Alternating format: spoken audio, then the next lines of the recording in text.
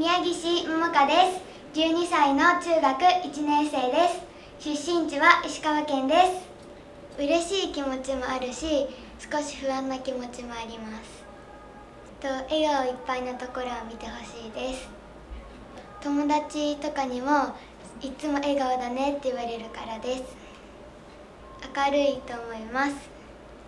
元気いっぱいでといつも笑ってると言われるからです。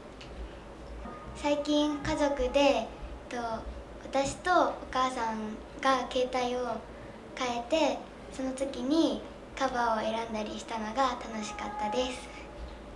大切なものは家族と友達と平和で家族と友達は一緒にいて楽しいし平和はと戦争をしなかったらみんなが幸せに暮らせるからです。